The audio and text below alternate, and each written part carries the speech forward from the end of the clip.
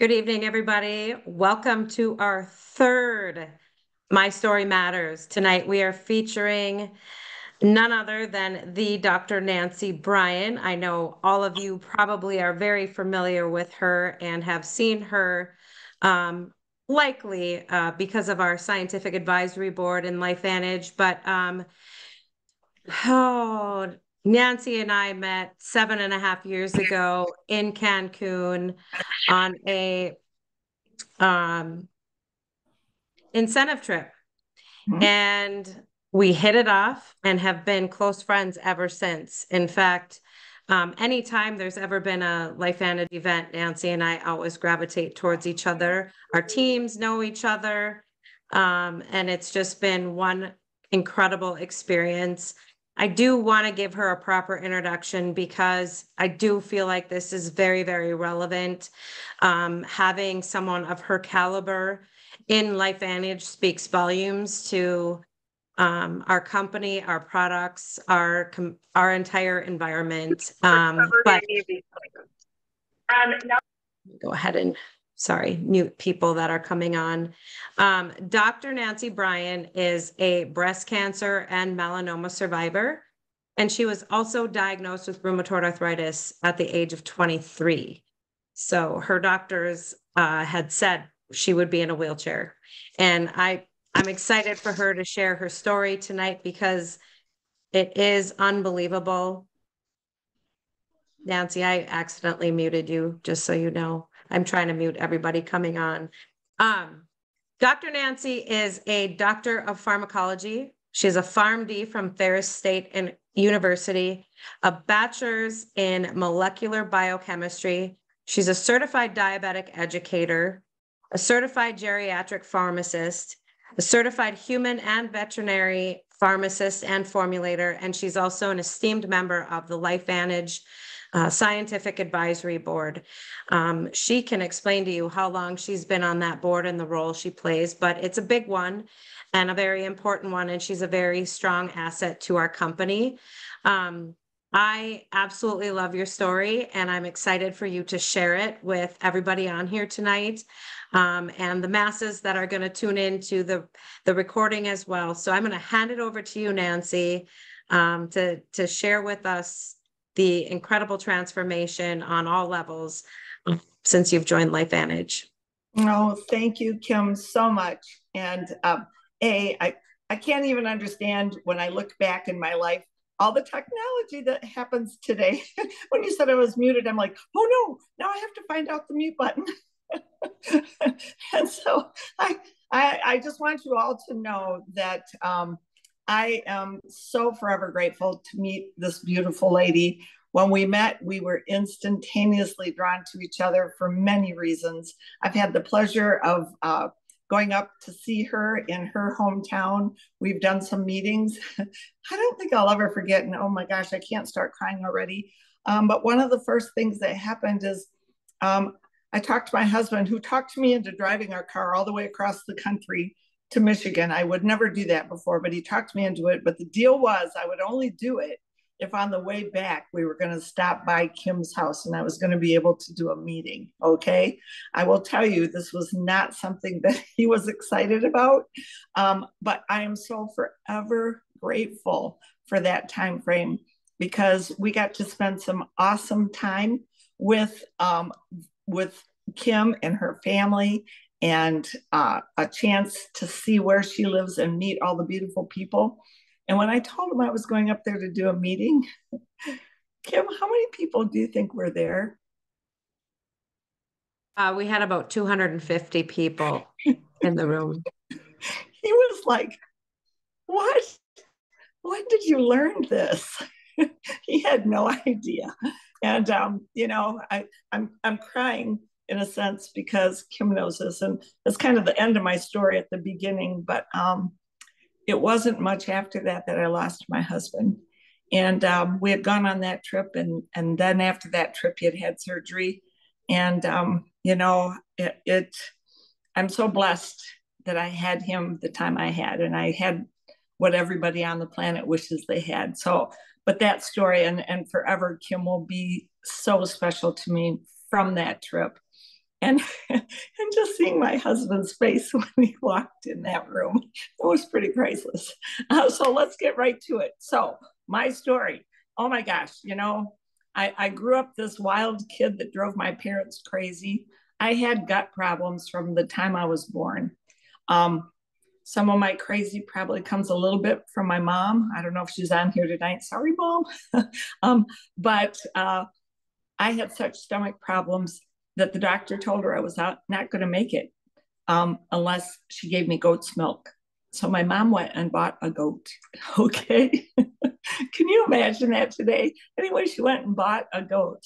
And um, because of that, I, I, growing up, always had all kinds of issues in terms of stomach problems before people knew exactly what all that meant. It was a long time ago. But it had a profound effect on me. And by the time I got through college and figured out that I wanted to make a big difference for people because of how many people made a difference for me growing up with all kinds of problems. Um, I I uh, was shocked when I started having all kinds of physical ailments because I at that point had started exercising, was eating right, doing everything possible, and I actually felt pretty good all through college. But as soon as stress started again, my first job working for a pharmaceutical company, the first female for a big company, lots of pressure, lots of stress. I started getting sick again. And then that's when I found out I had rheumatoid arthritis. And um, the doctors had told me that it was not going to be good, that I was going to be on a lot of medications. And, and so again, I continued to work. I was already a pharmacist at this point, but I started really researching nutrients. Um, and so through several of those nutrients, I actually did pretty well for, for a number of years. I had to get shots for the rheumatoid arthritis um, because I was just in such pain all the time. I had had uh, three soldier, shoulder surgeries, I had knee surgeries, um, but continued to plug along. Um, and then the worst happened. And this is probably from some of the medications I was on. I don't know why. But then um, I had breast cancer. I developed breast cancer. And at the time I was diagnosed, all of my friends were shocked because I was the one that had exercised like crazy, was taking all the right foods, doing everything right. And yet that gene still expressed. Okay. And I loved hearing Sandy's story last week. If you haven't heard it, please make sure you listen in on it. I'm shocked how much our stories uh, follow each other because at the time I really didn't have much options. Those of you that are on here that have known me for a while know that my sister passed away with leukemia um, at a very early age. She was in her early 20s. And the gene that she had is what they found out that I had as well. And so when I first found out I had breast cancer, it did not give me a lot of hope. So I had to do everything. I had to I had to do chemo. I didn't want to do chemo. Chemo made me very ill. I couldn't walk. Um, I was just not in a great place. And I remember just the thing that upset me the most was watching how upset my husband was because he couldn't do anything. And I think that that part was when I really started looking. And this is an important part of this story for all of you that are listening tonight, um, understanding LifeVantage. I had a dear friend who was a surfer. In fact, I just got back from Hawaii and spent some time with another couple of our friends that he knew there, and also had a chance to go visit some of the places he had taken my husband and I, also the place where he taught my kids to surf. And when I was going through all of these things, he had developed a melanoma and the melanoma was in a really bad place and his doctor had not given him much hope. And so he had seen a study out of lsu regarding this little yellow pill this protandim nrf2 and what it was doing when they tested it on mice um, with melanomas. And so when he sent it to me you have to understand i was rolling my eyes and not paying a lot of attention but i thought you know what I don't I I don't have a lot of choice. I'm in a wheelchair. I'm miserable. Then I got diagnosed with melanoma too. And they had to remove four inches by two inches by two inches deep off my waist. So at this point in time, I was on so many different nutrients, but none of them were enough. And so I didn't think that this would make such a big impact for me. But I will never forget this because when I got started, um, they sent me the product. I started taking it. And I remember with the first three or four days, my from my knees down, I was fairly numb. It's called neuropathy from from a lot of chemotherapy. People experience that. And I remember all of a sudden my feet starting to really tingle and thinking, oh no, this is bad. And then I got to thinking, wait a minute, I couldn't even feel my feet before. So that's a good thing if I'm feeling my feet tingle. And then I don't know, I just, uh, you know, within a few weeks, I just started feeling so much better. And um, again, my husband, who had been so worried, he came to me one day and he goes, I don't know what that is, but keep taking it because I can see the difference. The reimbursement oh, yeah. and you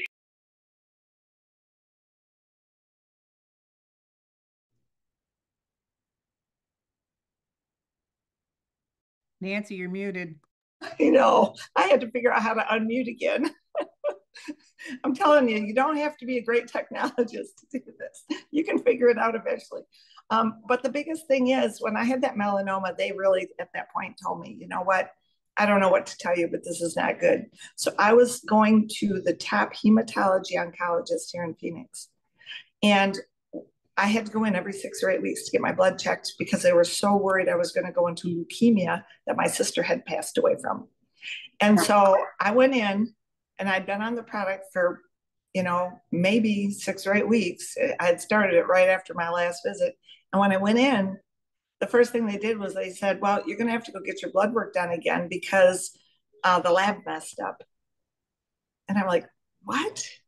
And they're like, yeah, the lab messed up. This, this is not your blood. And I'm like, okay. So then I had to go give a whole bunch more blood, which is just what I felt like doing.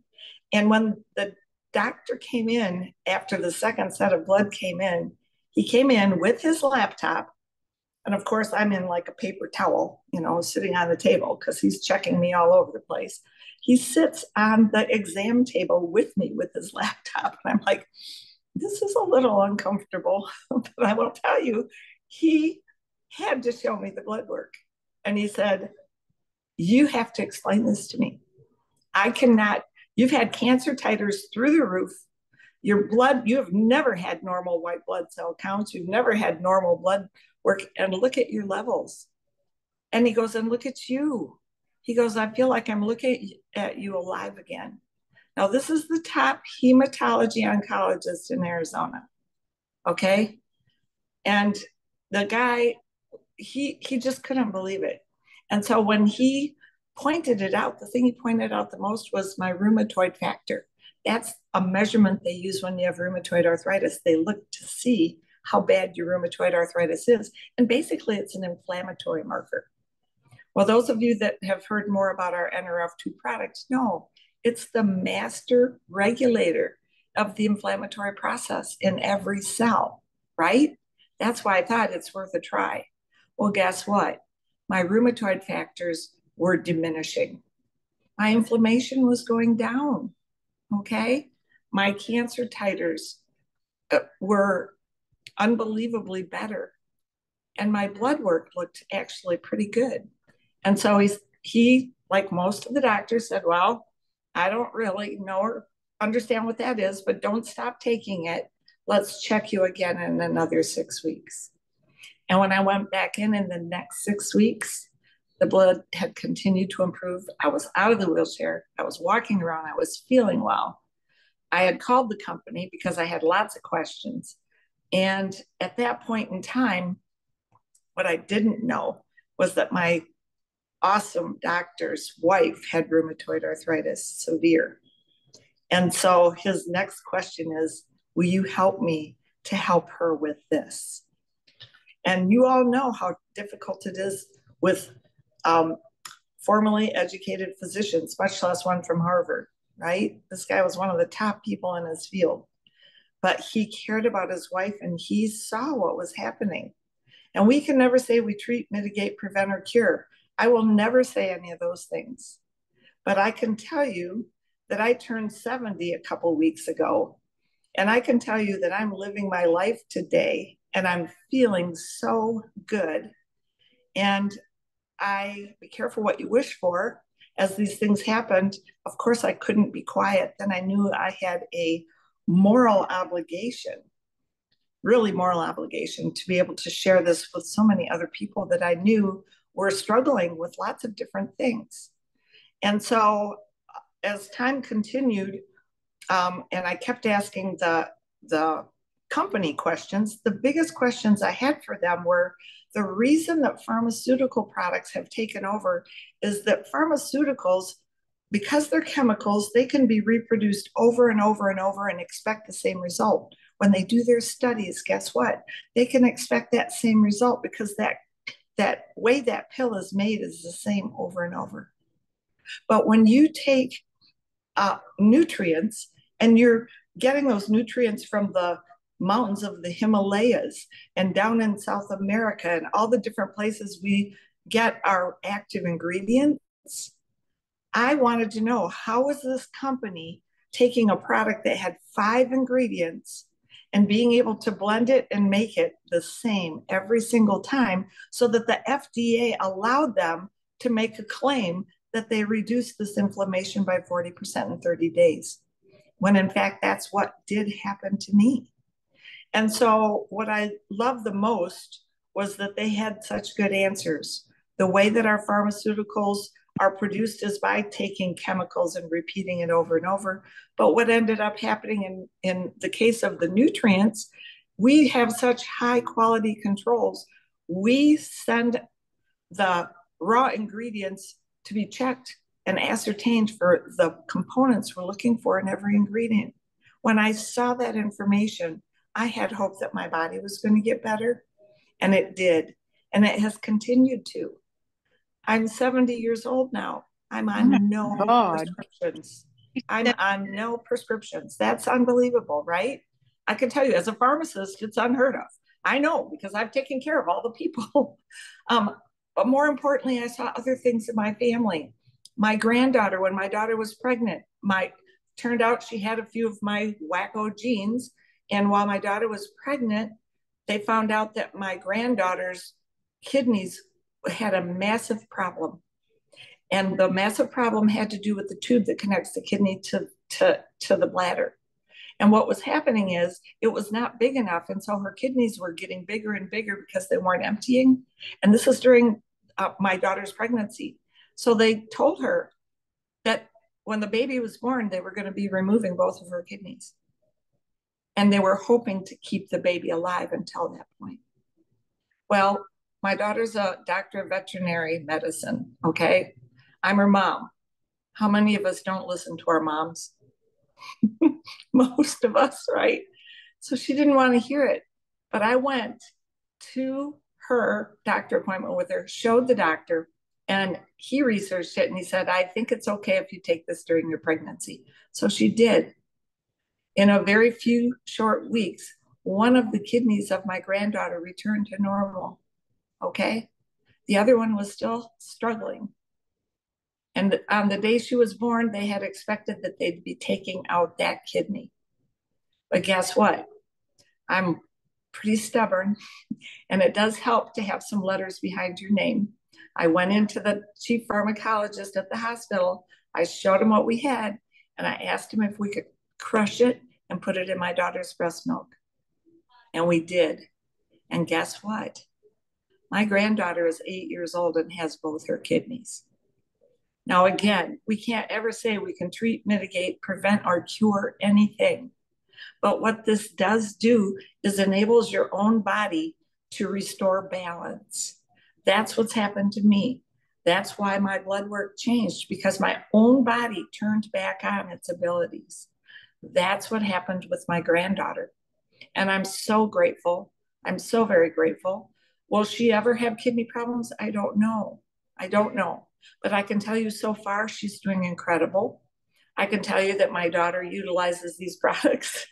I can also tell you that we make sure that all of our little pets, yes, even my little Tito, um, get our Petandim because after that what she saw when we came out with an animal product was that animals have problems with inflammation too and so guess what we've seen stories from horses I mean, some of you that know I go to Derby every year. I can't tell you how many horses we've been able to help. There's other people that are with the company that help deal with those horses. And um, I know Bonnie and Kim Heath have been very active in the horse arena. Um, but the bottom line is inflammation is a cellular issue. Our body's intended to have a little inflammation and go down. On and off is the repair of our body. It's when it's out of control. And my body was so out of control for so long. And today, I, you know, you can see my hands. These are not rheumatoid arthritis hands. Do I have a little bit of problem with them now and then when the weather changes? Yes. But I'll take it. I'll take it all day. And again, it's my own body activating. And now, some of you recently may have heard, um, you know, you have to be careful what you wish for. Remember, I went to the company and asked all those questions. Well, the next thing you know, I'm on the science board. the good news is I get to see a lot of things first.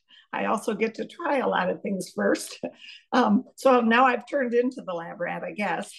But um, they understood my passion for other nutrients as well. That's why we have our AM PM D3 because forever I had developed a product that was for bone uh, restoration and health with another company a long time ago.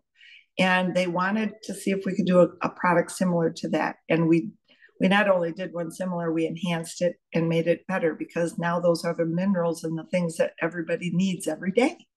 And those are the reasons why a lot of the times our gut goes into problems is we don't have some of the magnesium and the zinc and some of the other minor elements. And as a result, our whole digestive tract gets off whack. Well, fast forward, today we are getting ready and getting ready to launch in October a brand new system that I have to be careful what I say. I have to sign NDAs, non disclosures when you're on science boards but our GLP-1 products that are coming are going to have an immense, immense um, effect. We have 55 people from the company that are currently on it. I'm one of them. And people are like, what the heck are you on that for? And you know why? If anybody takes if anybody takes a look at those products, they were first developed for diabetes.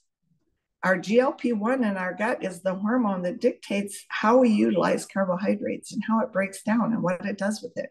And when our body stops breaking things down properly, it doesn't want to let go of it. It takes the carbs and puts them around our waist and stores it as fat, thinking it might need it. But when the GLP 1 system functions again, guess what? All the chemistry starts to rebalance again. That's my background, remember? Molecular biochemistry. And I've been so blessed by God to be put into a position and into a place where I have an impact for that.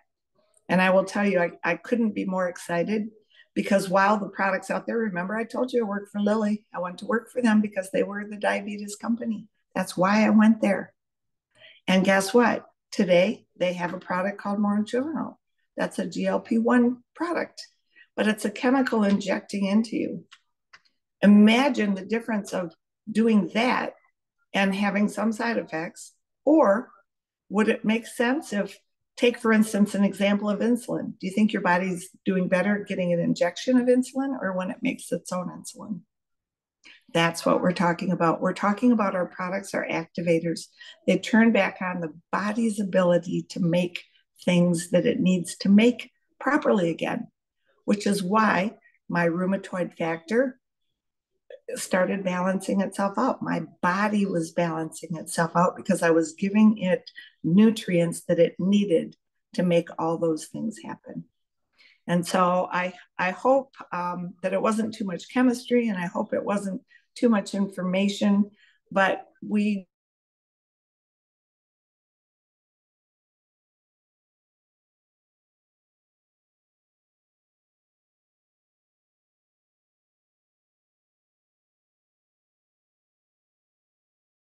I'm not sure what happened to Nancy.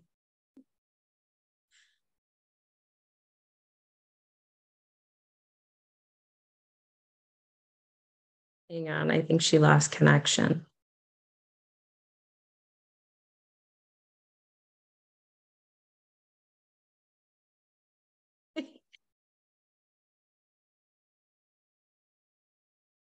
He'll be back.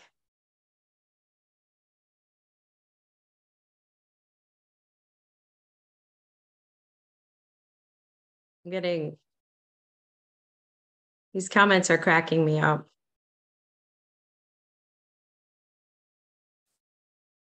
Hopefully our phone didn't die.